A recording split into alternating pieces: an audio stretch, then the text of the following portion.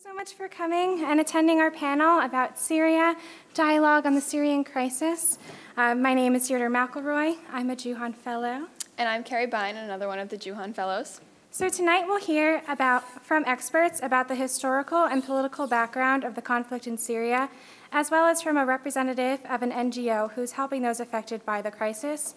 This discussion is even more relevant after the events of last Friday and the backlash experienced by refugees as a result. Our hope is that through tonight's dialogue, it becomes clear that this issue is drastically affecting the lives of people and that we need to come to the aid of those people. We would like to read some remarks from Julie Mughal, Assistant Director of the Center for Faith and Public Life, Director of Fairfield's Juhan program, who did so much to coordinate this event but is unfortunately unable to be here tonight. I would like to welcome everyone to this panel, which wraps up Juhan's Humanitarian Action Week at Fairfield University. Each year, Juhan, the Jesuit University's Action Network, sets aside this week in November to host events in many of our 28 campuses in the U.S. and our colleges and universities across the world to support those in need and advocate for heightened awareness and action regarding humanitarian crises. Unfortunately, this is our third awareness and action. This is our third year in a row that we are hosting a panel on Syria as the terrible tragedy continues to unfold in Syria, its neighboring countries, and across Europe. As many of you know, we have a dynamic Juhan student group here at Fairfield who recently starred in a Juhan video, which we would like to show now.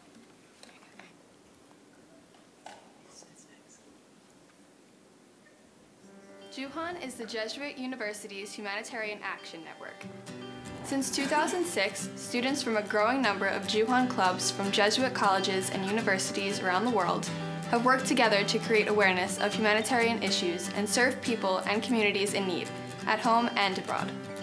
Juhan prepares us for careers in humanitarian action and to be global citizens. Together, we effectively coordinate responses to humanitarian crises and take action on humanitarian concerns related to global development.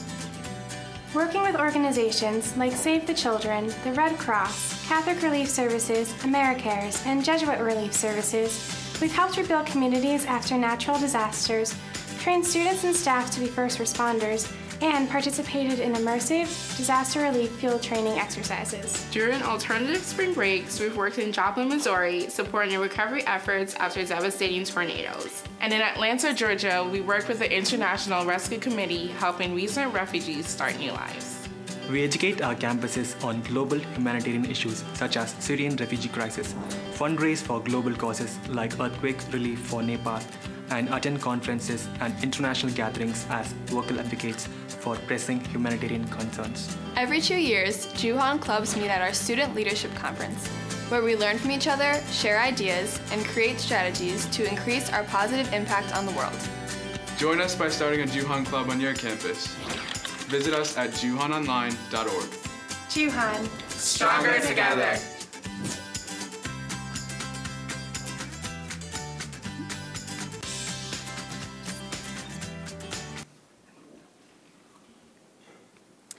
I would also like to thank our wonderful Juhan student fellows, Deirdre McElroy and Carrie Bine, who both work so hard to ensure that our humanitarian work touches our students on campus.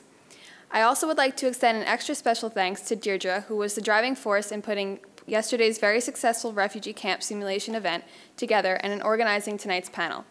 It is truly thanks to her efforts in spearheading these events that so many students have a better understanding of the situation in Syria and that, and that the trials that millions face as refugees. One final thank you to the faculty who will speak tonight and to my wonderful former colleague Wendy from Save the Children for their participation this evening. Now, before we begin, we'd like to have a moment of silence for those who lost their lives or were impacted by the terrorist attacks that took place um, in Paris and all over uh, the globe on Friday.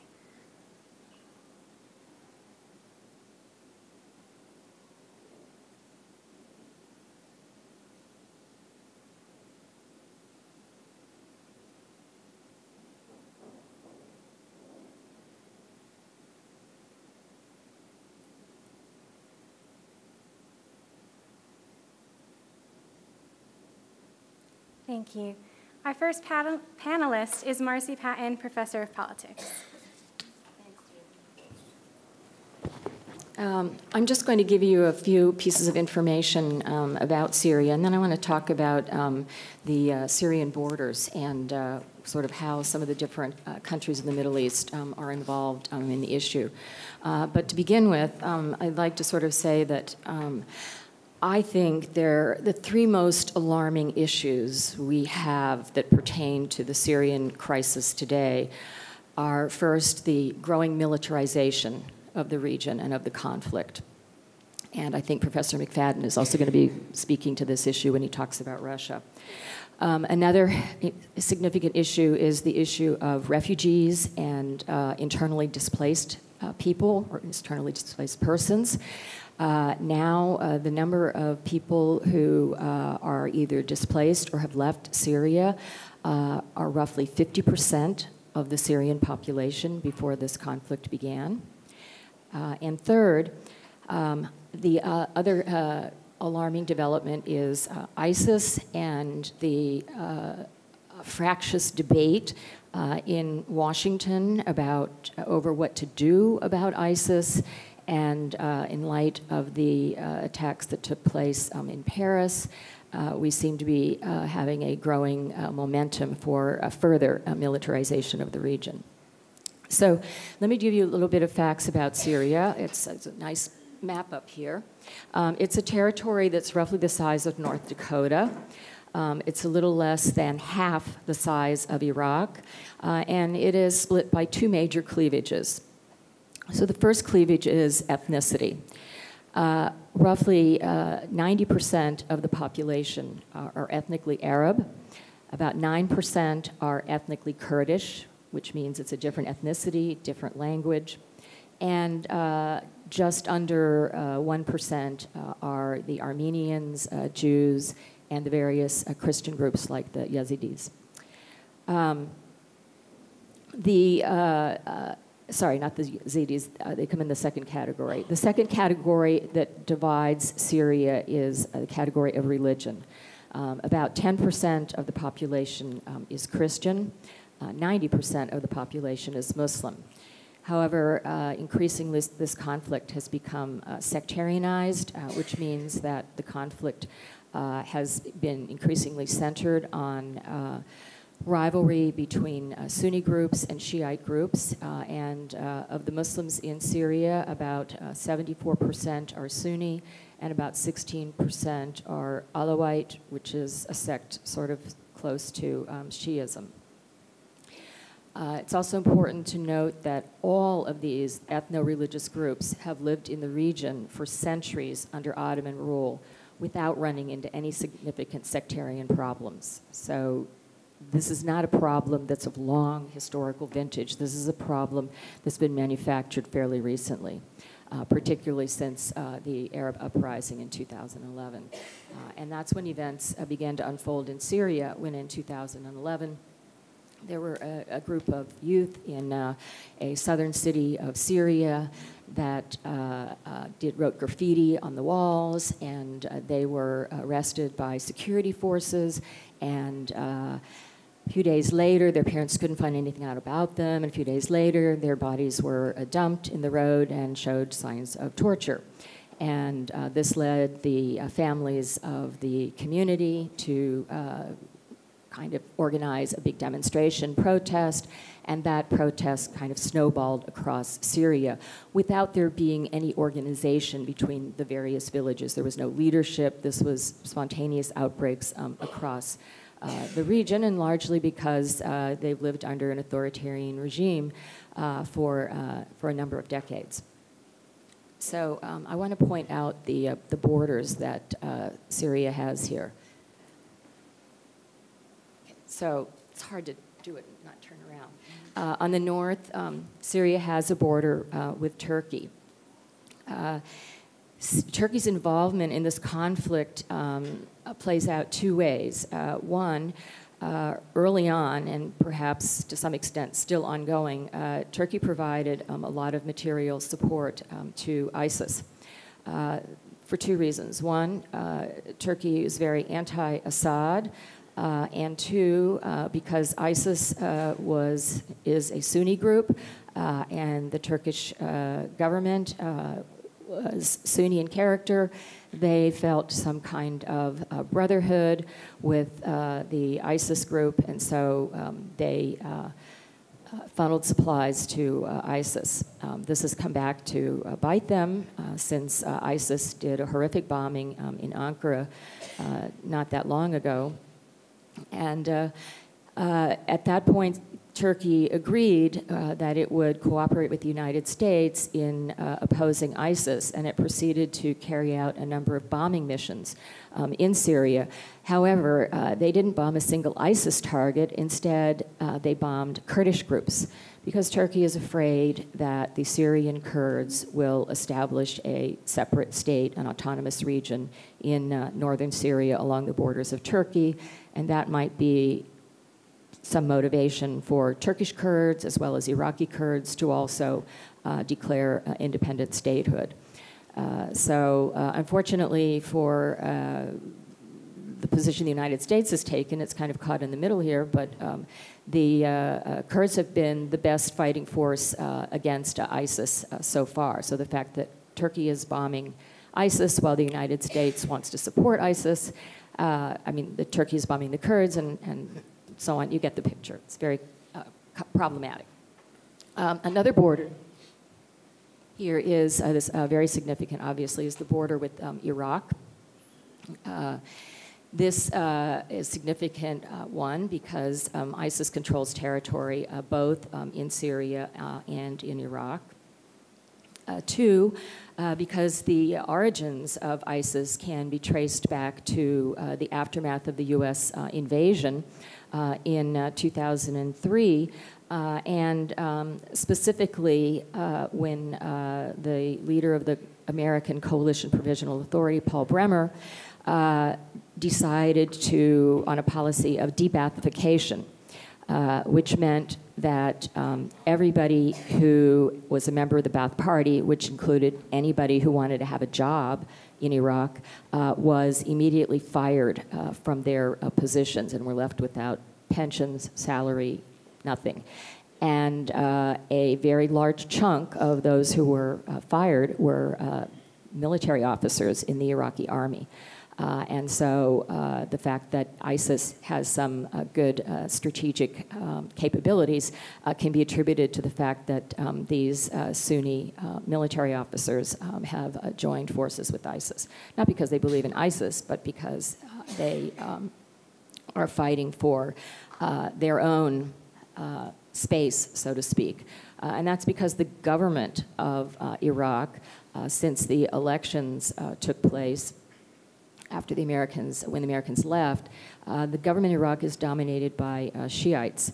Uh, Shiites have always been uh, the majority sect in the country. However, uh, for centuries, including Ottoman period, uh, the Sunnis governed, and Saddam Hussein was a Sunni. So there's a bit of sort of revenge politics going on, where the Sunnis, who were the, the majority in number over the years, were treated as a lesser group compared to the minority Sunnis. Uh, and so you now have a Shiite government uh, that um, is uh, quite divided. Uh, the current uh, prime minister of Iraq, uh, al-Abadi, very much wants to be pro-United States. but um, his own government is significantly divided, not only internally but also against him. Uh, and the groups that are against him uh, are pro um, Iran. Uh, Iran is another uh, country that we should mention in terms of the borders uh, here. Um, Iran, people have heard a lot about it because of the nuclear agreement. Um, Iran is uh, a, a, majority a Shiite country. Um, and I think the most important thing about um, Iran and the reason for its involvement in the region is that since the United States um, eliminated uh, Saddam in the region, uh, that left only one strong regional power uh, in the Middle East, and that was Iran. So Iran is clearly uh, trying to basically captain the regional ship of the Middle East uh, and assert itself as a regional uh, hegemon.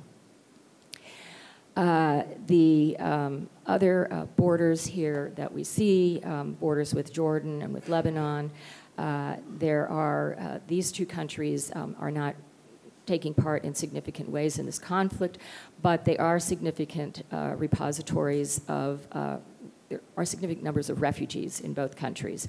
Uh, maybe 40% of the Syrian refugees have fled to Lebanon. I'm sure these numbers are going to be updated.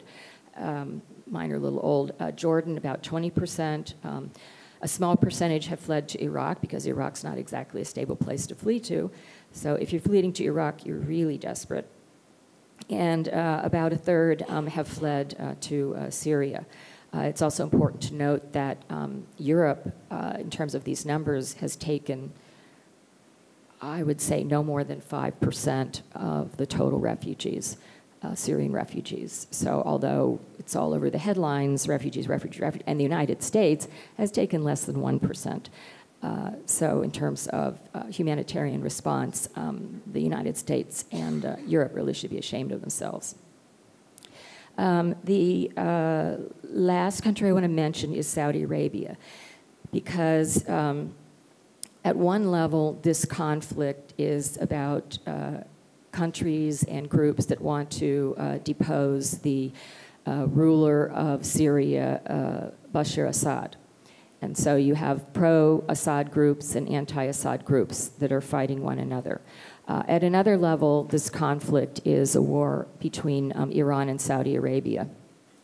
Uh, Saudi Arabia is a, a, Sunni country. It's uh, adamantly opposed to what it sees as uh, Iranian expansion or Iranian involvement in the region.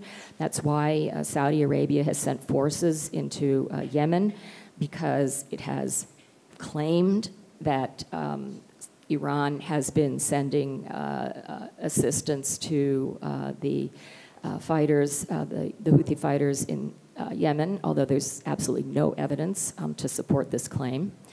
Uh, and uh, lastly, I would say about Saudi Arabia is that um, recently the United States um, has uh, just signed a arms deal uh, with Saudi Arabia for to sell the Saudis one billion dollars worth of armaments.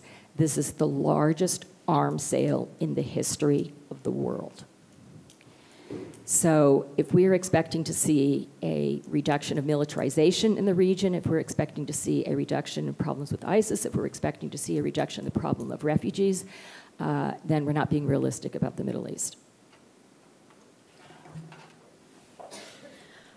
Our second panelist is Silvia Marsans-Sakly, Assistant Professor of History.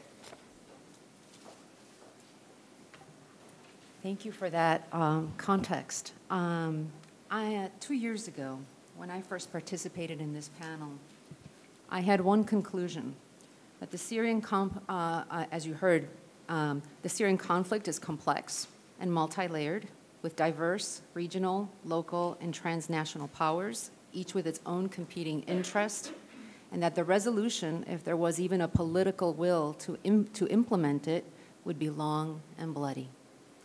This was before ISIL or ISIS became a player, and now it seems that ISIL is the hub around which competitors realign themselves. So uh, my part of the presentation is going to focus on ISIS or ISIL. It's the same, uh, it's a different, uh, whether you emphasize the Levant or you emphasize the Arabic word, which is Shem, and this is where the S comes from. Um, so I'm going to talk a little bit about the history, um, which uh, Professor Patton already kind of framed for you, uh, mobilization, uh, what are some of the reasons for mobilization, uh, and how kind and how it looks on the ground. Um, I've been watching a lot of alternative um, news sources, um, a lot of uh, people who are journalists who have spent significant time documenting what it's like on the ground um, in the region. Uh, so I'll be giving you my, my impressions of that. There are believed to be as many as one, if you think that the, the great powers that are uh, you know, operating here that, uh, are numerous and multi-layered, uh, you should see the opposition. Um, there are believed to be as many as 1,000 armed opposition groups in Syria, commanding an estimated 100,000 fighters. Many of the groups are small and operate on a local level. I mean, we only hear about ISIS, but uh, uh, ISIS really only has uh, from 3,000 to 5,000 um, you know, armed soldiers that they can command. Uh, so it's not a small, it's not a large uh, army by any means. Um, the groups are operating, they, they, small, they operate on a local level, and a number have emerged as powerful forces with affiliates across the country or formed alliances with other groups that share a similar agenda. Uh, you have a really messy on the ground reality. There are a lot of divisions on the battlefield, there's a lot of infighting among the groups, and the populations are caught in the middle. The refugees that you see fleeing uh, across Europe are the ones who can afford the passage uh, with the smugglers, so they are the ones that are actually well off. The poor are stuck and vulnerable and caught in the middle, and they are submitting to ISIS through fear, or they uh, sometimes join in despair, hoping for some sort of protection or security on the ground um, for the aerial bombardment um, that is directed ostensibly at ISIS, but actually the bombs are not that smart and they kill innocent civilians in the process. We never hear about that either. When the numbers dwindle in one group, the groups realign. And so this fluid set of alliances creates the enemy of enemies. The enemy of the enemy is my friend. Um, and uh, as is also uh, paradoxically the case with the great powers. Um, where we now find Russia affiliated um, uh, with France and the US. Um, okay, so uh, when did they appear on the scene? Uh, and what does ISIS, uh, so ISIS is about um, the Islamic State in Syria and Iraq, right? So there's a, um, an affiliation with, uh, with the Iraqi um, situation. And as Dr. Patton said, this is really, the, the roots of this are in the US invasion of Iraq in 2003. So the US invades Iraq, 2003. It takes six weeks to topple Saddam Hussein, but the U.S. stays as an occupation force until 2011. Um, you have uh, in there um, the Abu Ghraib um, scandal of uh, prisoners, the horrific abuse of detainees. Um, and that when that camp closed, um, you had another camp near the Kuwaiti border called Camp Bucca and this was in use from 2003 to 2009. And this is where, um, you know, Al Jazeera, uh, the Arabic news channel, uh, claims that it was paradise compared to Abu Ghraib. Uh, prisoners got an education, they got exercise, they got vocational training and health care. Um, but it was also a place where they formed networks. So this is where detainees who were part of the Ba'athist regime, uh, generals, uh, formed alliances with the jihadis. Um, and it was in Camp Bucca, so the incubation of ISIS was in these camps, right? Um, particularly that camp.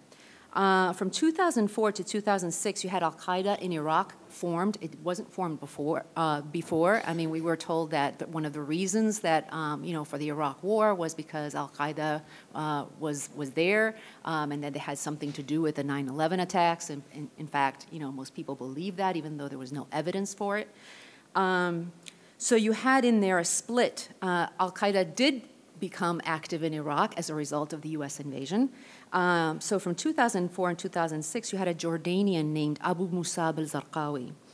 Um, and he was declaring, um, you know, um, kind of the Sunni uh, uh, caliphate almost. Um, the Islamic State, right? Um, 2006 to 2013, uh, they renamed themselves the Islamic State of Iraq.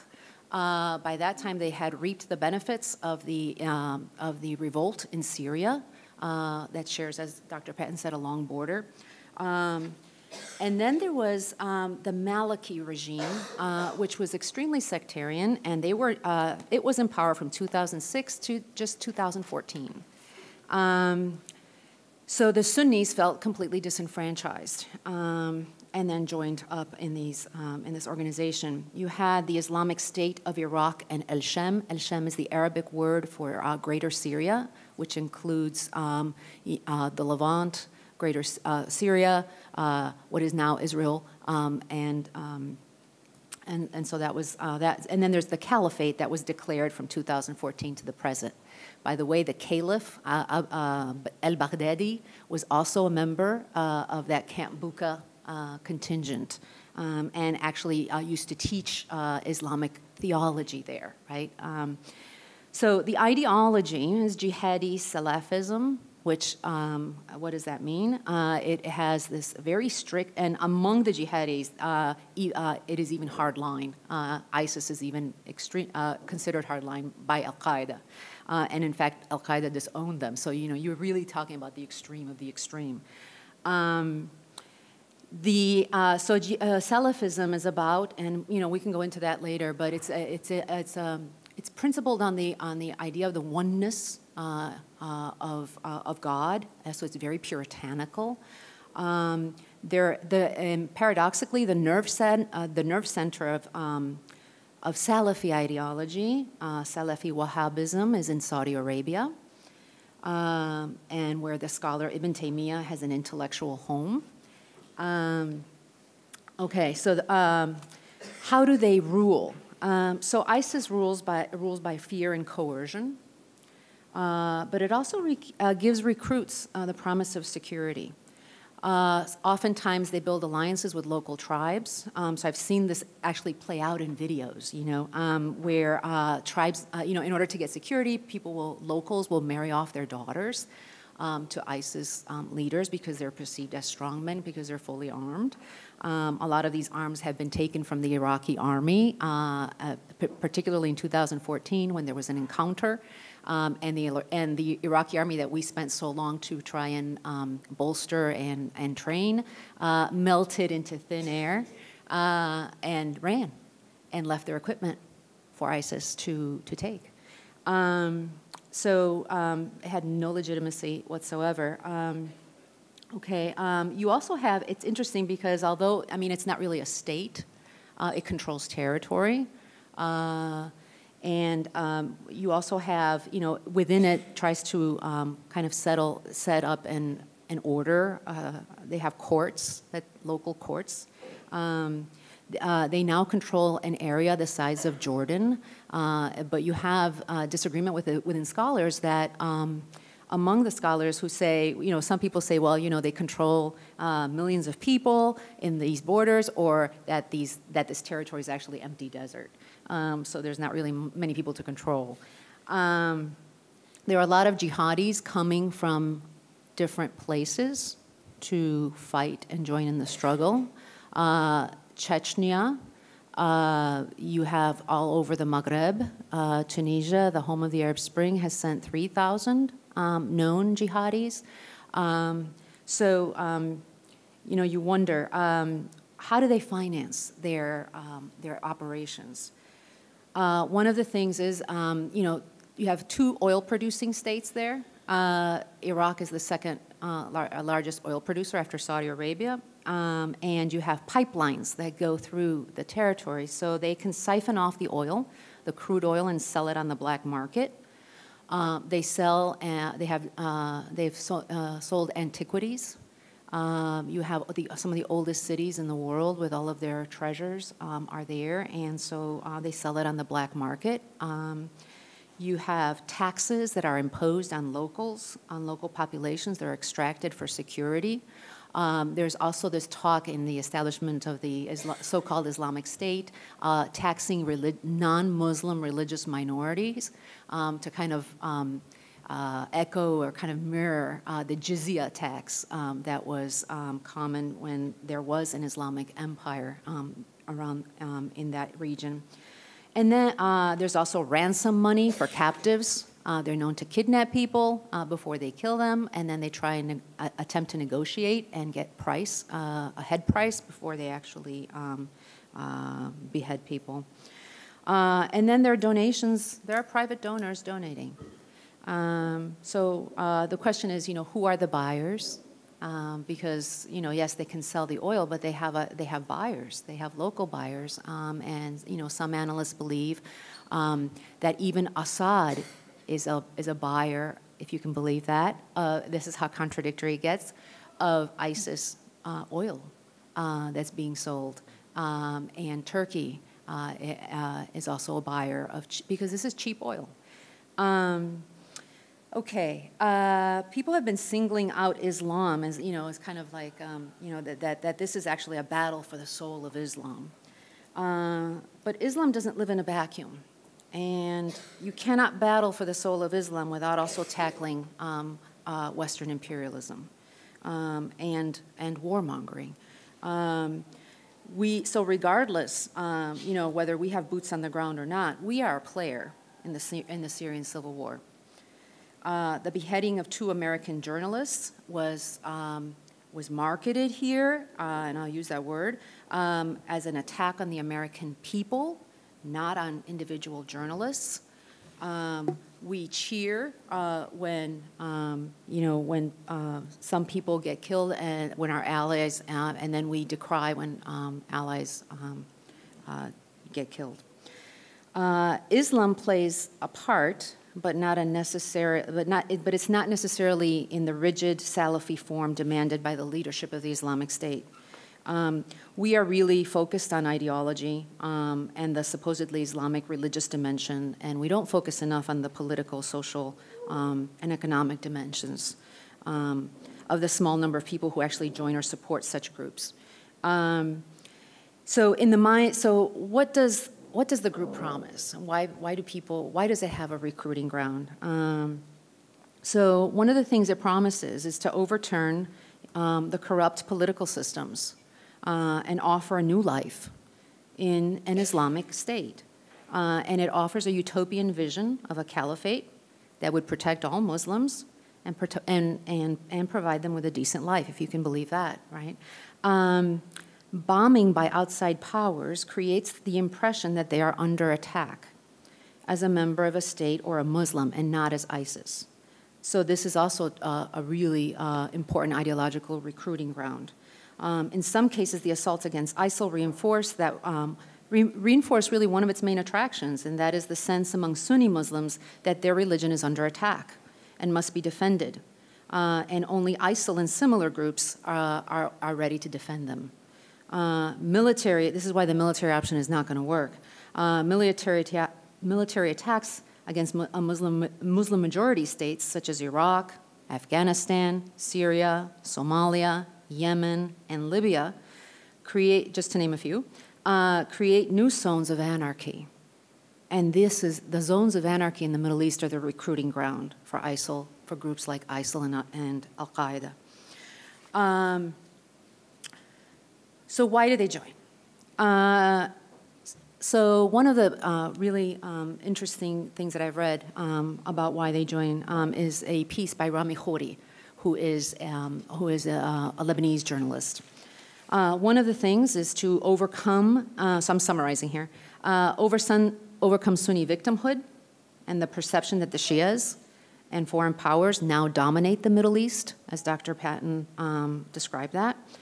They want to live in a society that practices true Islamic values, such as justice and security, the rule of law, and citizenship, um, righteousness and good governance um, that is often absent in Arab Islamic lands uh, with nation states ruled by dictators. So this is where the goals of, you know, it can appeal to goals of, you know, the failed, uh, in their mind, the failed revolts of uh, the Arab Spring. Um, they want to build an Islamic state and expand uh, the caliphate, which are necessary for a kind of millenarian promise. Um, there's a, there's a deep-seated feeling uh, that the end of times is near, that the Redeemer or the Mahdi, uh, this messianic figure, uh, is coming uh, and will usher in this uh, permanent peace and justice. But there's actual, but there's also this nihilism. Um, you know, nihilism meaning that they have no hope. Um, they've, been, they've given up trying um, the possibilities that Western economic and political uh, models, trying to implement uh, Western economic and political models because they haven't delivered, uh, even though they have tried to implement them, however, imperfectly. Uh, the, also, the other reason, one of the historical reasons, is to avenge past grievances such as the Western powers' drawing of artificial Arab state borders foreign military attacks against Arabs, and this, and I keep um, singling out Arabs because it really is an Arab issue. Um, of what is um, also, you know, what is perceived as the, the Israeli humiliation of Arabs and Arab regimes, dictatorial, brutal, and corrupt rule. And also, there's the idea of experiencing daring adventures. Uh, these, are, these, are, these are young men, right? Um, so there is, and the appeal is also about, um, you know, some sort of heroism. Um, there are, so uh, scholars have tried to explain why it is that young men, that some of them married and with children, um, you know, join these groups. Um, many of these people have uh, grown up with war, occupation, and a general insecurity. Um, and um, uh, this is the generation of boys that came of age during the aftermath of the US invasion. They are the children of occupation, uh, whose fathers were either in jail or detainees. Um, um, they were either executed or fighting. Uh, they're not primarily fueled, although there is this idea, uh, you know, the religious ideology kind of plays into it, but they're not really fueled by the idea of an Islamic caliphate without borders. Um, ISIS, like Al Qaeda before it, offers humiliated and angry young men a means to defend their dignity, um, their family, and their clan, as irrational as it might appear to us. Because um, in joining ISIS, they're actually bringing on more bombs, as is, as is going to happen very, very soon, and is already happening. Um, at least they are not silent while being beaten. Um, and it's better to die fighting and with pride as Iraqi Sunni Arabs than to do nothing, to flee or wait for the coalition to strike. Uh, so there's a deep religious, cultural, um, and tribal identity here that gets touched in. In this way, I think they share a commonality with, uh, with the Taliban generation, uh, who um, you know, grew up under uh, uh, years of Soviet occupation, living in the borderlands of Pakistan. Now we face the possibility that the U.S. Um, is, is preparing to strike. Um, and the coalition is uh, increasing their, um, their military. Um, and so um, I almost, you know, have to conclude with the same, uh, with the same assessment um, as before. Um, hopefully, uh, people will, the powers will, will try and reach a political solution. Uh, but the future looks long and bloody. Thank you. Our third panelist is Janie Leatherman, Professor of Politics and International Studies.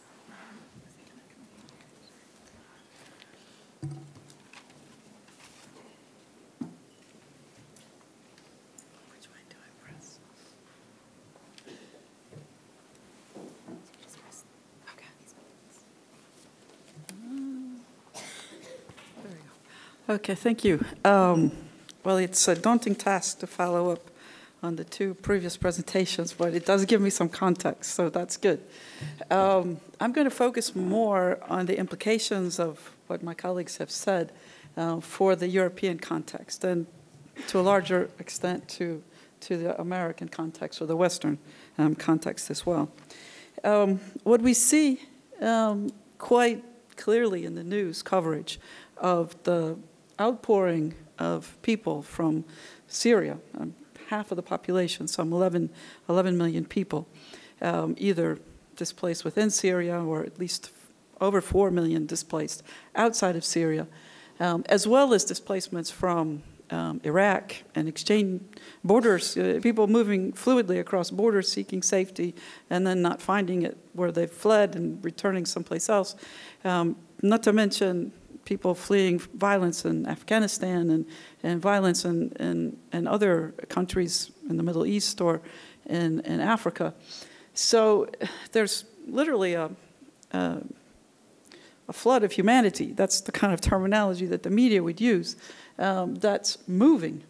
And the, the response of much of the West is simply to wall up and wall out.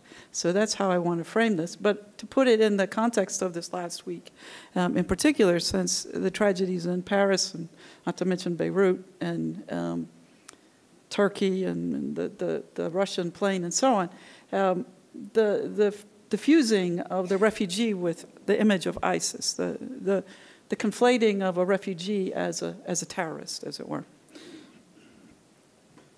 So I'm going to try to briefly cover a number of broad kind of arguments here. Uh, first, I'm going to ask the question, why are Western countries barricading themselves against the figure of a refugee as a terrorist? Um, and so I'm going to look briefly at this phenomenon of, of walling up. And I'm going to show you that this is just really not something happening in the West, it's actually a global phenomenon. Um, and we're going to talk a little bit about the links between um, patriarchy and male dominant structures of, of, of authority um, linked to the state, to the nation state, but we could also um, talk about that in the context of a religious authority as well. Um, and then we will talk about what are the disruptions to state or masculine control and um, the kinds of hegemonic response which we see, which I have summarized here as war and walls. Um, and then we'll briefly consider what could be some alternatives. Um, well, here's an image of Hungary's um, border barrier, which they erected very quickly as they were unable to uh, respond to the increased um, inflow of refugees across their borders this summer into early fall.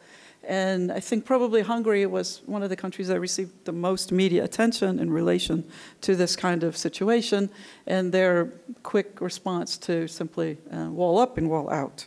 Um, but it's symbolic of, of, a much broader trend.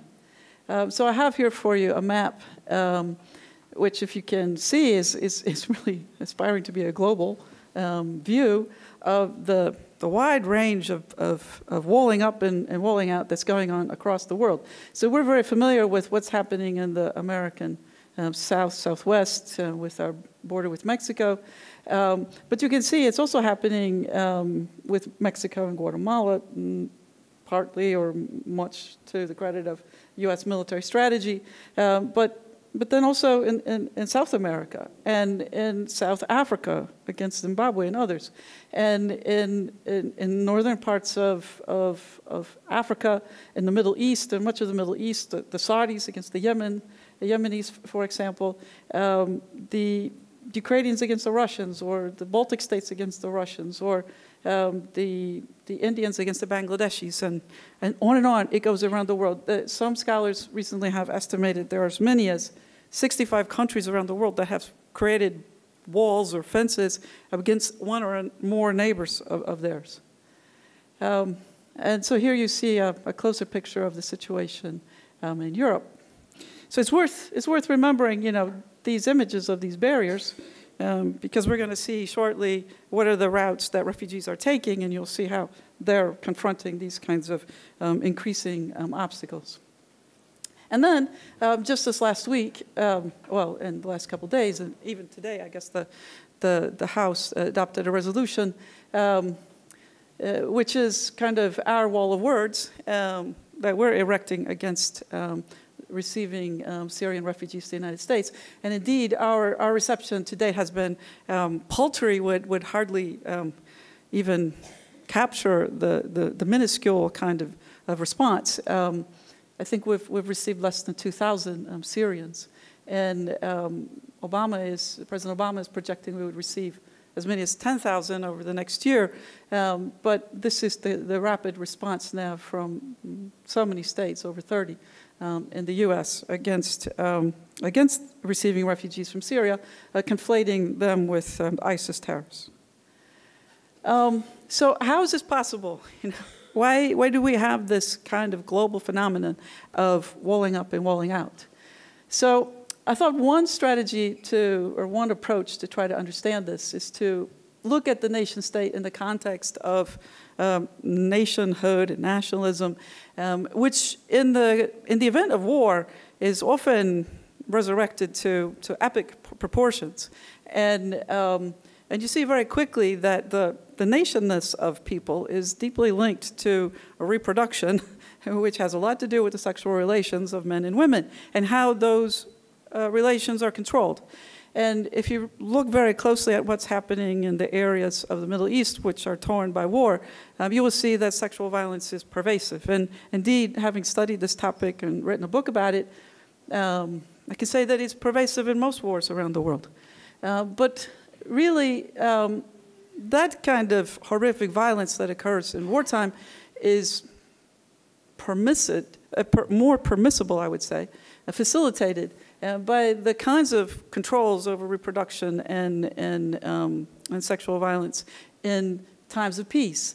And so you could say that, that the, the masculine control of society through the vehicle of the state um, occurs at multiple levels in countries around the world, in the household, um, in society, in the structures of the state, the state authorities, um, and into the international system itself. So it's only been in the last uh, 15 years uh, since the adoption, for example, of the International uh, Criminal Court's uh, Rome Treaty, uh, that we have a provision in international law that finally uh, forbids the use of rape as a, wool, as, a, as a weapon of war or a tool for genocide.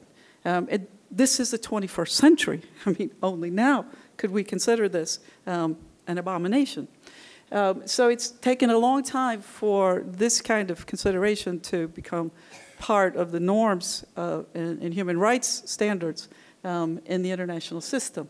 Um, and of course, it will take much longer to, to really give that kind of provision teeth and, and make, it, make it real in the lives of people on the ground in war zones around the world um, where they could actually get justice and go to a court system and find a judge and a, and a doctor and a lawyer and police and so on who would actually um, make it possible to enforce um, the kinds of laws that had been adopted.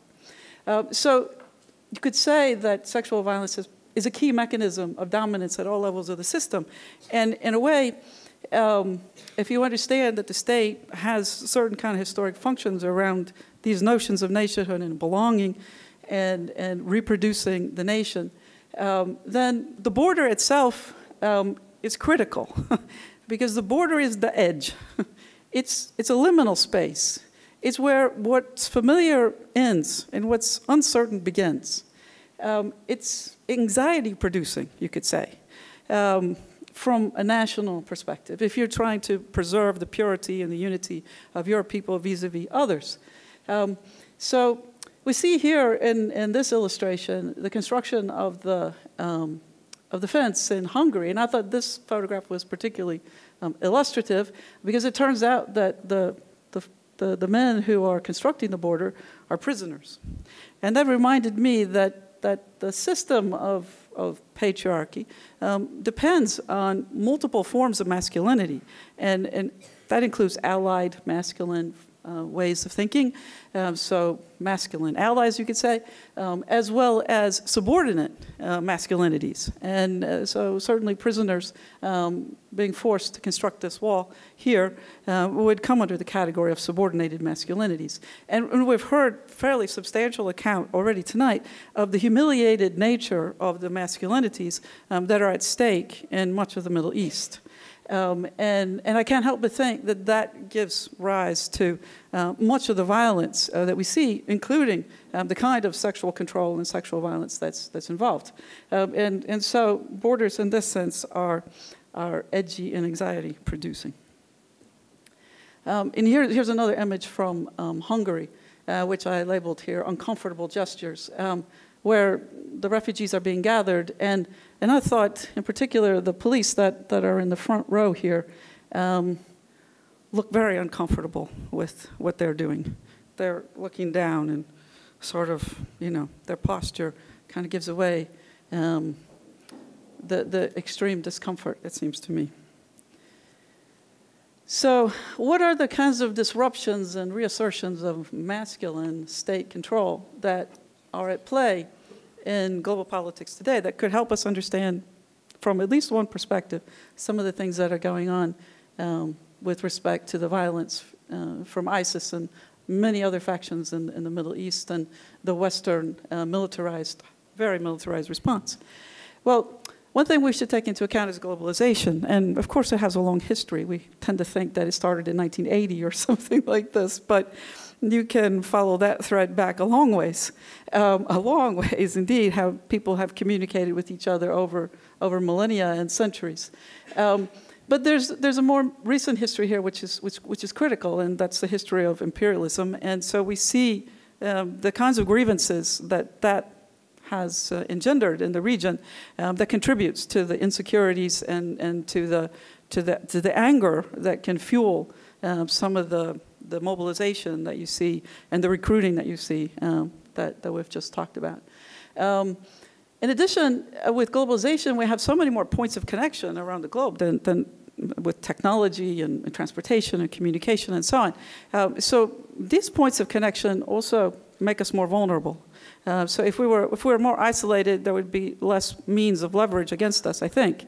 Um, and indeed, as as I'll mention in a minute, with the ISIS strategy that's called the management of savagery, um, they really they really used this to their benefit. Um, so so that's a consideration, and I think that's also a part of the response um, to to wall up and, and try to wall out. Um, also, we face unprecedented challenge challenges. Um, I was really struck in the last year reading any number of international reports that the word unprecedented comes up over and over and over and over again. Everything is unprecedented. So, what does that mean, really? To me, it means that the hegemonic system is in trouble.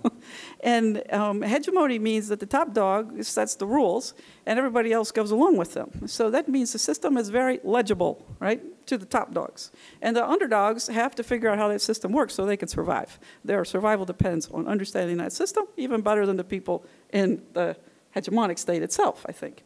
So, um, this system seems to be um, really on some kind of precipice, I think. And that's also why um, I think borders seem to be edgy and very anxiety provoking today, too. Um, and uh, what, what, is, what, what are some of the elements of this unprecedentedness? Well, um, the number of, of refugees this last year hit almost 60 million. Um, un, unprecedented since World War II. We, we don't have figures like this. Um, and and the, the rapid increase of numbers of refugees from one year to the next, and the, the long lasting nature of wars around the world, also unprecedented. We don't seem to have the capacity to get it together to set parties down at a table and say, work this out, right? I mean, and, and then what happens to the lives of the people who are torn apart by these conflicts? They live in limbo they live in a liminal state. they live somewhere on the edge um, for years, if not decades and decades. And, and, and the, the Congress, you know, being concerned, or the governors being concerned that, oh, we will bring in, you know, these Syrian refugees like tomorrow, this will be a great concern. Um, in fact, um, would take like a couple years to vet each, each refugee. Um, at this rate, you can do the math. I mean, how long would it take us to accommodate you know, some substantial number of refugees from Syria. Um, so, so the, the global response is, is so slow in response in, in relation to the, to the need, to the urgency of the moment. Um, and, and all this gives us a sense of unprecedented nature of challenges. And also, uh, some of these conflicts are intertwined with climate change factors, including Syria and other areas, or Yemen and other areas in the Middle East.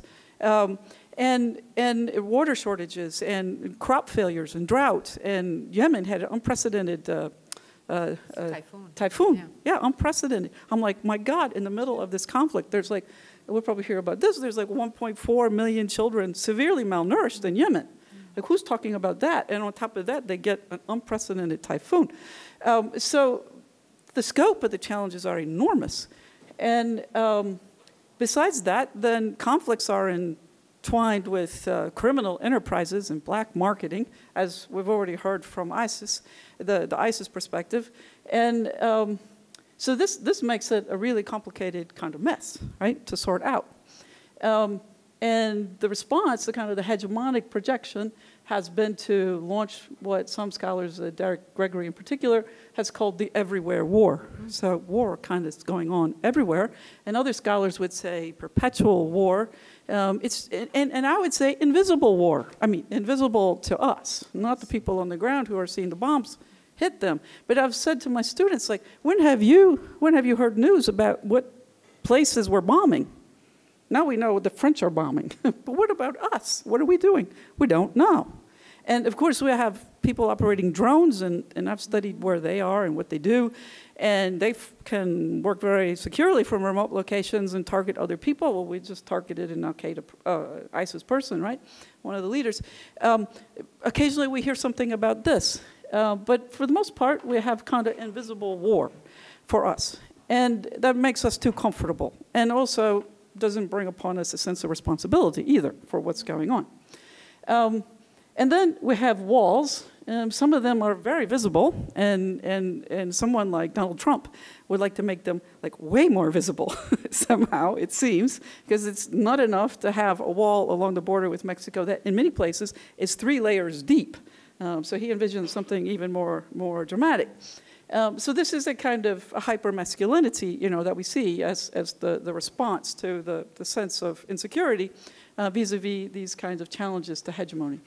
Well, so ISIS then has, you know, a plan that, that you can read this online. I, I would caution you to be careful where you download stuff that has anything to do with ISIS. Really, I mean, because they may come, you know, to try to recruit you. Uh, I'm totally serious about this. So I was very careful. I downloaded it from a site from Harvard.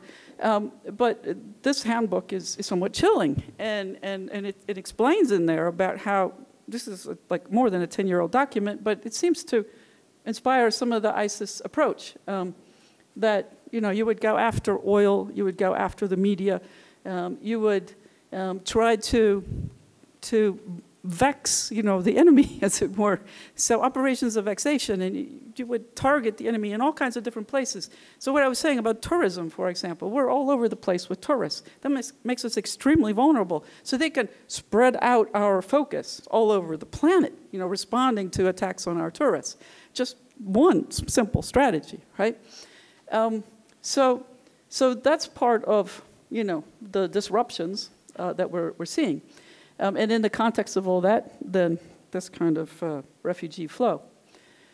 Um, so a few quick slides then to give you a sense of what's going on there. Um, here's, here's a picture of, of what's happening in Europe in terms of asylum claims this year. Um, you see Germany has the most, but you can also see Hungary is quite prominent um, in, in, in this context. Um, and actually, I have a friend who works in, in the state in Germany that has the highest percentage of, of, of refugees being resettled there in, in Baden Württemberg, which is like 21%. Um, and here you can see that in proportion to the population, actually, Hungary is like way outpaced everybody else. So maybe it's not as surprising then that Hungary was like so desperate to take measures. Uh, but the, the Hungarian um, authorities, you know, themselves felt humiliated by the failure of the European Union to come to their aid. So again, a kind of, uh, of, of masculine humiliation that they responded to with a type of hyper-masculine response um, through walling up and trying to wall out. Um, yeah, and here's where most of the people are coming from. So you can see Syria is in the lead, but followed by Afghanistan, and well, Kosovo. So even the persisting problems of the Balkans are echoing in Europe still today. Here are the eastern routes uh, that people have used to flee through mostly smuggling operations at great risk. Um, and then what probably most people don't know about is the northern route, uh, which is through Russia and then into, um, into Norway. And that entry point is by bicycle because the Norwegians um, required that you cross the border on, on some mode of transportation. You can't go across by foot uh, from Russia. And when they get on the Norwegian side, they have to abandon their bicycles because they don't meet the safety standards of Norway. And so a company has been hired to come and, and collect the tons and tons of bicycles uh, that have been abandoned at this crossing point uh, to apparently recycle them for reasons that they're not quite sure. um, so instead of life jackets, it's bicycles. Here is the Mediterranean Sea route, and as you see from many different points as well, and the number of deaths. So already in 2015, uh, the date, i'm must have put the date up on this slide, um, well, uh, up to November, uh, so up to about now, um, already exceeding the number of 2014, despite concerted efforts to save lives, more concerted efforts than there had been in place before. So I'm going to end uh, in, a, in, a, way that's, that's a bit provocative, perhaps. Um, I find it painful to show this image. I, I, couldn't bring myself to even look at it when it was first published. Uh, but I think we should feel pain because we don't. Uh, because we, the war is invisible to us. So I thought we should feel pain. We should know what pain feels like to have a sense of responsibility? How can we have a sense of of shame about what's happening in the world and we're not doing enough if we don't have any, any pain about it.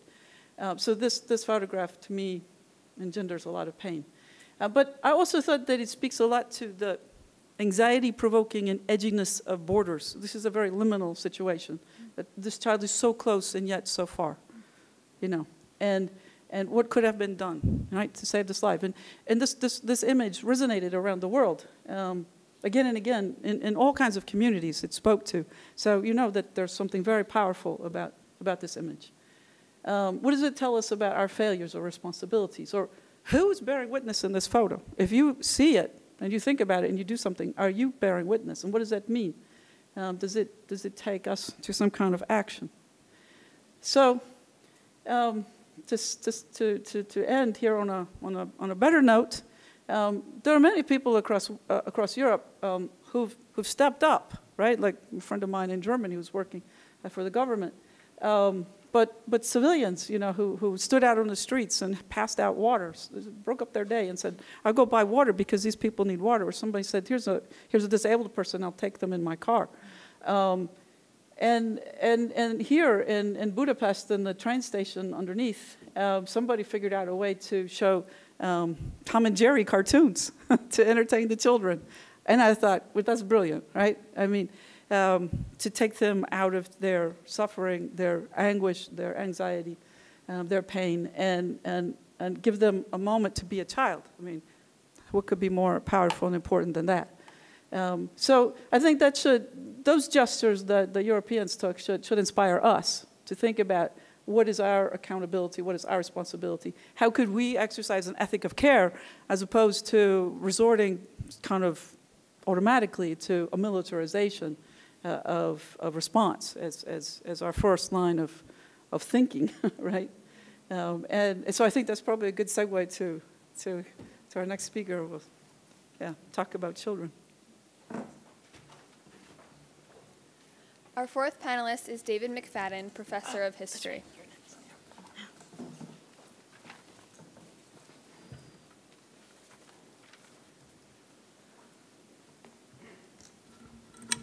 I'm going to leave that Janie slide up there because it's, uh, in a way, it's a good segue to what I'm going to be talking about. And you may think, oh, that's not so. You're going to be talking about Russia. Russia is one of the problems in this situation. And I guess I beg to differ with that. Um, and I want to remind you of some of the same statistics that other people have mentioned because everybody in this room should rivet them in their mind. Half of Syria's population, nearly 12 million people, have been displaced. 300,000 dead. 4 million have fled the country. Now, we quite rightly get upset when 129 die in Paris when 224 die in an airliner from Egypt, when a number of people die in Beirut and elsewhere. This humanitarian crisis in Syria is the worst humanitarian crisis since World War II, exceeding all of the genocides individually of the 90s, and yet it remains invisible. Now, I submit that the best way to reduce the refugee crisis, to isolate ISIS, and bring the, the world and Syria back from the brink of wider war is to double down on the diplomacy. In order to do that, we have to involve Russia and Iran, especially Russia. First, we can work with Russia and the rest of the international community to relieve the suffering of the refugees. Funding needs to be tremendously increased, and more countries, not fewer, need to be persuaded to increase the number of refugees they will accept. Most observers have pointed out the U.S. could accept 100,000 not just 10,000. Secondly, and most importantly, we and the Russians need to put pressure on our allies publicly. There is no military solution to the conflict in Syria. None. Military, increased military action, which both the Russians and the French and the Americans are engaged in, only impedes the progress toward a diplomatic solution. Because the two sides of the conflict, and I talk here about the U.S. and its allies, the Saudis, Jordan, the Gulf states, Turkey, and Russia and its allies, Iran, Hezbollah, and the Syrian government, those, those allies, the only way for the conflict to be settled is to get those parties together. The various rebel forces and Syrian opposition groups, Hezbollah, the Syrian government, and Iran, Turkey, and the Gulf states. Now, there are negotiations going on in Vienna right now. There's even talk that there may be uh, a 15 day, that's not enough, a short term ceasefire that is imminent. We can only hope that this is true. Now, this has been tried before, of course. There was a Geneva communique in 2012 that involved the UN and uh, uh, former UN Secretary General Kofi Annan. That collapsed. The Geneva Conference of 2014 collapsed. The major sticking point seems to be that the U.S. is demanding that Assad leave and Russia is uh, refusing to force that outcome. Russia has pointed out, and I might uh, mention this to everyone, that the two famous times in the last 10 years that the U.S. and its allies forced a dictator out in Iraq and Libya resulted in bad outcomes, resulted in chaos, resulted in the recruitment of more Islamic terrorists. Um, but the gap between Russia and the US has to be bridged. And in order to do that, you got to spend time doing it. Uh, I was very heartened to read that after the recent meetings between uh, Secretary of State John Kerry and Foreign Minister Sergei Lavrov of Russia, uh, Kerry went away from those meetings saying that Russia uh, played a very positive role and that uh, he, was, he was hopeful. The current idea seems to be ceasefire, Syria wide, and especially in the uh, number of local ceasefires, um, cooperation among uh, the Syrian government, Hezbollah, and others uh, to reduce the uh, recruitment of um, of militias and, and terrorists and, and extremists, and an arms embargo. Now, we're the furthest thing from an arms embargo now. We're going the other way. And I think the key is really the U.S. needs to commit itself to a serious working relationship with Russia. Russia has a long history with Syria. Russia has been involved in Syria since the 19th century. And um, Russia recognized, was one of the first countries to recognize um, the uh, independent govern government of Syria uh, after decolonization uh, in the 1940s. Uh, Russia has been committed to the Assad regime for years. Russia has a naval base on the Mediterranean and is the major supplier of the, uh, of military equipment uh, to Assad. But I think if, if the U.S. and Russia can agree, they can press their, their allies to do the same. You may wonder, well, now, why is Russia interested in this? Well, I think the strategic uh, position is clear. And we also forget that 14% of the Russian population 18 million people are Sunni Muslims. Uh, they recently opened a new mosque, a magnificent mosque in Moscow. And Russia has uh, fought their own battles against uh, Islamic militants uh, in the southern parts of Russia.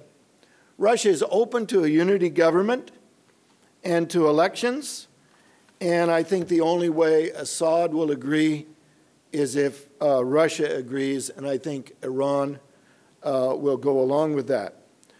So um, I'd just like to turn from Russia uh, briefly here to uh, a couple of other uh, notes.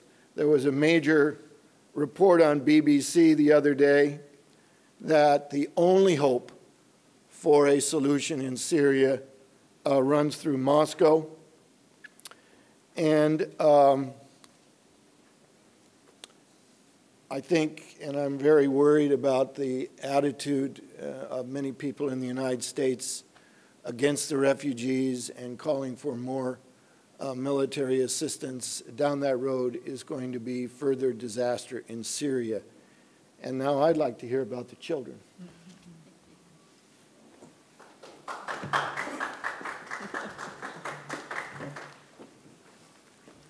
Do you have the slides up? Just this one, right?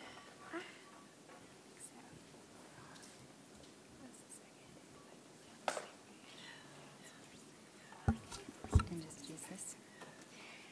So I'm Wendy Christian, and I'm with Save the Children, as they mentioned. And our objective, our goal, is to make sure every child has a healthy start, an opportunity to learn, and protection from harm here in the United States and in 122 countries around the world. So we have been involved in helping the children and families affected by the conflict in Syria, the war in Syria. Uh, since it began almost five years ago inside Syria and in the bordering countries of Lebanon and Jordan and Turkey. And then this year, of course, have really ramped up our efforts as we're responding to these families virtually on the run who are fleeing across Europe. And we've deployed teams and have country offices in Italy, in Greece, Macedonia, Serbia, and Germany. And so I thought at this point, after you've heard about this very politically charged situation and you've learned about the history, it should be my job to really put the face on this situation, and especially the child's face. Because we know that in any conflict, it is always the child who is the most vulnerable, the greatest victim, who has the most to lose. They're not political, and yet they're the ones who suffer the most. And so I wanted to take you kind of through a journey through the eyes of a child who's making that journey, who's fleeing Syria right now. And I'll tell you that after this, you can go to our website, savethechildren.org. I took some of the photos from there, but there's an interactive photo essay that you can see where we had a journalist follow a family from across the desert of Turkey and all the way to a refugee camp in Germany, and you can see that there. We also have a virtual reality video there that you can download the app, the Riot app, on your phones and watch that. It's a two-minute video that, again, takes you right through the eyes of that refugee child. So I think we get more understanding, more empathy in a situation when it becomes closer to us, and we can see it that way. So here's a refugee boy who has just come off this dinghy. My uh, group there on the Isle of Lesbos uh, saw this dinghy coming up as they were driving along the highway. They ran down to the rocky coast there and helped people coming off the dinghy. This is as you know, one of many, many that are arriving on some of the busiest days. 22 of these rubber boats are arriving there on the coastline, packed with people, elderly, children, babies. This little boy's mother was coming off the raft and she was holding a two month old infant in her arms. And she was limping as our team helped her get off. In the crush, her ankle had been broken. So here's a mom with a two month old infant, a toddler, a broken ankle. And I just hear that story and think, how bad must it be that a mother will get on that terribly unsafe journey? Knowing she might not make it. We know many don't. You just saw the bodies there washing up. And that seems like the best choice, the safest route for her children. How bad must it be? But if they make it across the water and our groups are there to give them some temporary housing there, dry clothes, blankets, dry them off, um, they are just at the start of their journey. They have a long way to go. And from this point, they are walking miles.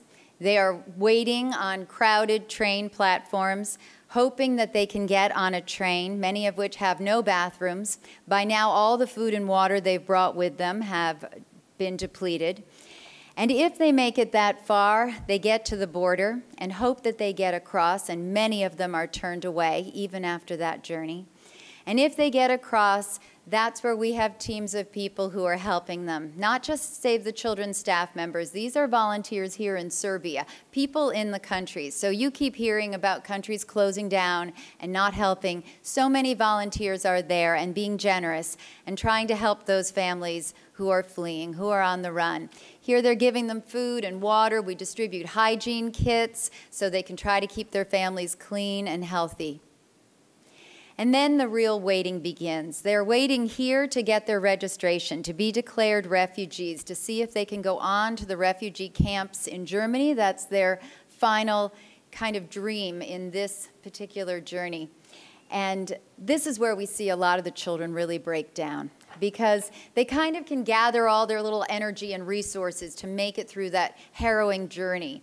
But when they get here, they just don't know how long they're waiting or what's going to happen next. There's so much uncertainty, and that's where we're seeing the kids kind of break down and crying.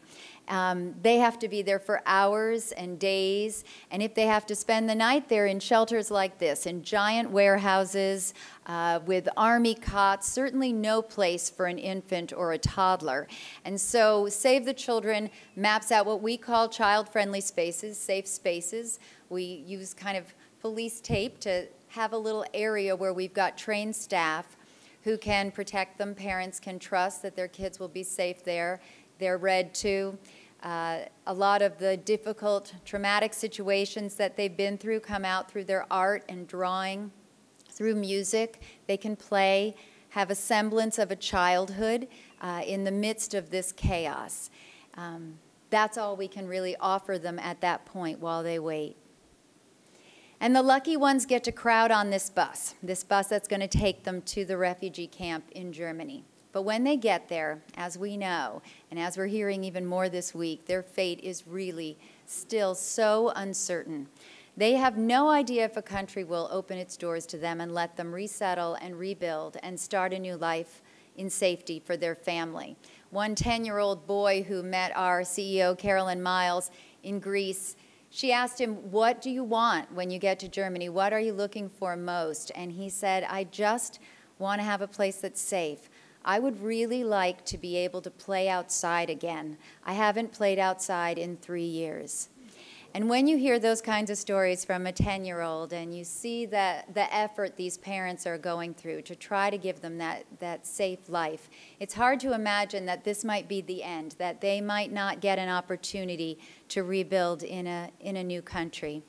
And I think when we see what's happening in the House today and in social media as people are trying to kind of process what's going on, and they have so many concerns and so much fear. Sometimes it helps to take a couple of steps back to get perspective. So I wanted to end with a story of one more refugee, not from Syria, but from a crisis that was happening when I first started at Save the Children in 92, probably when many of you were just uh, right before you were even born. And this is Isla. She's a refugee, as I said, not from Syria, but in Bosnia, another country very different than what's going on in Syria, and yet so many things the same. A country divided by ethnic uh, differences and different religions. And Isla, as the daughter of a Bosnian Serb mother and a Bosnian Muslim father, was targeted uh, for the genocide there, the ethnic cleansing as it was called. Her family uh, fled in the middle of the night, as many Syrian families are. They ran to the border of Croatia and were turned back as many families today are being. It was just a UN commission that took some of these targeted children in a special convoy that got them across the border, where they waited on a train platform for days and weeks to be able to go to a refugee camp in Germany. Sounds kind of familiar, doesn't it? They did get to that refugee camp. Isla arrived in a, uh, got to a barracks. It was a former military training center there in Germany a giant barracks with lots of bunk beds and one shared bathroom. And Isla's family and 14 other families went into that barracks. And they shared that barracks, those bunk beds, that one bathroom together for three years. And during that three year time, she became a teenager. That was her middle school time. And they had no idea if they were going to get uh, the opportunity to rebuild their life in another country. And one day they got the big news that they were going to Cleveland. And so they got to go to Cleveland, Ohio. Isla went to high school there. She had about three words of English when she started. Imagine being 15 and starting in high school with just a handful of words. I tell her that it helps that she looks something like a supermodel, but uh, still, she had to work really hard. Finished high school, finished uh, with a scholarship at Ohio University went on to grad school at NYU, got her degree in journalism, became a journalist in New York, got married there, and decided it was time to use her skills to give back. And that's when she joined my team. Mm-hmm. And that's when she started working at Save the Children with me. And you know, Isla's been there for five years, and the first three years she's worked at Save the Children, she really insisted that she work in our U.S. programs, that she work for kids living in some of the worst impoverished areas in Appalachia and the Mississippi Delta because she wanted to give back to kids who were struggling in her newly adopted country. And then we trained her to go on to some of the biggest disasters. Here she's in the Philippines right after Typhoon Haiyan hit. Wherever kids were suffering, Isla was there to help them. She has a baby now. She and her husband live right here in Fairfield County. They work right here in Fairfield. This is the face of a refugee. When it sounds like it's somebody far away, it might be your neighbor. It might be someone who's contributing in this way. This week, Isla had her dream fulfilled, a dream that began when she was in those barracks, in that barracks in Germany. She got a job offer and took it to work at the United Nations in the same division that saved her life 23 years ago. And that's what can happen in America, isn't it? A young child can come here as a refugee with just nothing but a dream, and we give an opportunity to that child, and look what she can do. Isla's story inspires me, and it makes me think, what could this child do if we give her that opportunity? Thank you.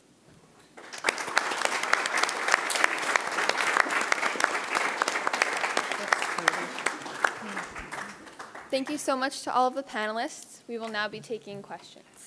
So just raise your hand if you have a question and we'll come around with our microphone.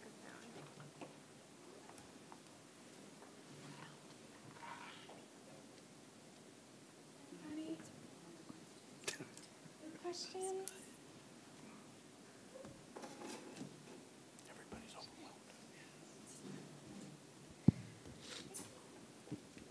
So I have a question. Um, with the Paris attack, I heard like most people think that that was like a bad move for ISIS. So, like, what is the what, is, what will happen with ISIS right now? Because like, it's in the eye of the world. Um, right now, Russia is, is talking with um, United States and unify and fight ISIS. So, what is the future of ISIS and Syria overall? I guess that's for me, huh? so, if I could peer into the crystal ball. So, there's a paradox here. Uh, because on the one hand, the predicted response, as you've already seen, is going to be increased bombing. They've already gone to Raqqa.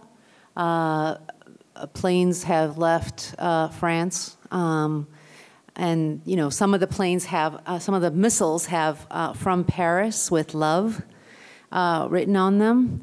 Um, and on the one hand, you're going to be, they're going to be able to kill some um, you know, some ISIS members, but the more that they bomb, because these are not smart bombs, these bombs are going to kill innocent people.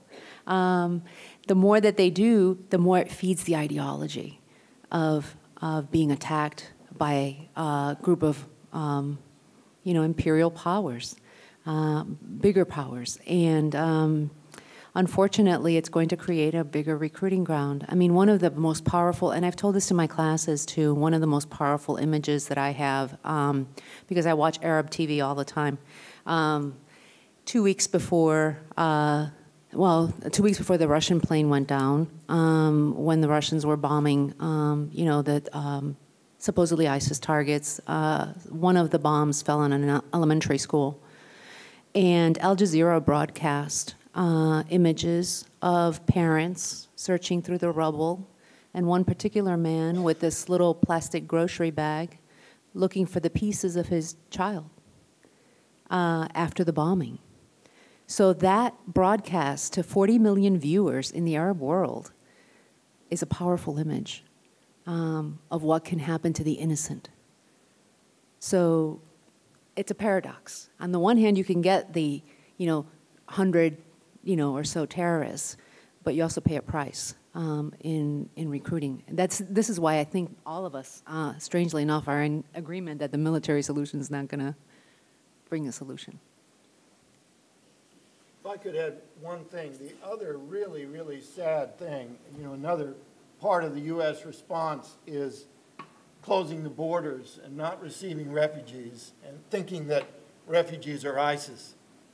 And that kind of response from the United States and Europe is also recruiting for ISIS because all they, they can just say, look, you shouldn't go to Europe, you shouldn't go to the West. Look what, they don't want you. We're your, we're your salvation. And we, we've seen the situation in Iraq, Libya, Yemen, and now Syria, when the destruction of the, uh, of the state, the inability of, uh, of the civil fabric to, to stay is creating more ISIS. You cannot destroy ISIS that way. You know, President Obama had a good idea a couple of years ago. It's gotten lost. The Republicans have pummeled it. It's probably dead which is the major response we have to have to ISIS, is ideological. We have to deal with poverty, mm-hmm. we have to deal with education, we have to work with the moderate, moderate Muslim communities to transform that image. And if we're not welcoming to refugees and the Muslim world, it's just going to, you know, it's just bad policy. It's just going to make it worse. We have time for probably one more question.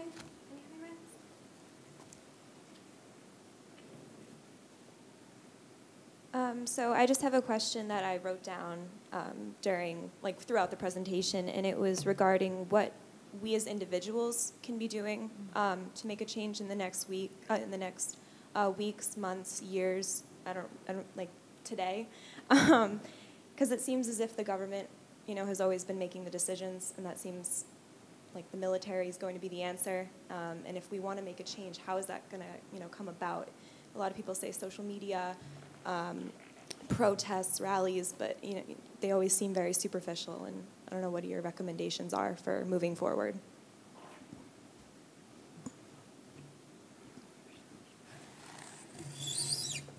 I think that you know, one clear approach at the moment is to speak to our representatives in government and if you feel that we should be welcoming um, to refugees, then send that message. I think um, it's, a, it's a really critical time to um, use your voice in those ways. Um, of course, we can support Save the Children and other organizations um, that are working on the ground. Um, and you can make your own choices in your own lives, how, how you want to commit yourself, either professionally or uh, through your own vocation, to support you know, refugee cause and, and peacemaking, human rights uh, kinds of causes, social justice causes um, in your own communities, not to mention internationally. So uh, there's an International Institute in Connecticut that always need uh, resources for resettled refugees. Sometimes we can place students there as interns or in service learning projects, and there's another program in Stamford um, that, that also does similar kinds of work with immigrants. Um, so there's, I think, opportunities in our own, in our own community that we can, we can um, easily um, live our commitments, um, as well as look for other opportunities uh, internationally. And by the way, Janie was going to mention this, but I'll Oh, mention yes. it. Thank you. We have a new humanitarian action minor at Fairfield University that was just approved by the Academic Council. I want that to be as big as the health sciences. I love health sciences, but we need to make that a really powerful minor. And students need to step up, uh, declare that minor, come see Professor Leatherman, uh, take the courses that are offered, and get involved with Juhan, and make this campus a, a force in the community uh, for humanitarian issues. Yeah, I should say we'll have more information about the minor um, public in probably a week's time at the most, it looks like. Um, So we're, we're excited to go on with that. But Juhan is, is, is, you know, right, ready for you today, so, yeah. Um, I was just reminded, um, I had a conversation with a Fairfield faculty member that, not that long ago, and she told me that um, her uh, plans this summer were to travel to Italy with her kids and her husband and work with refugees in the camps in Italy.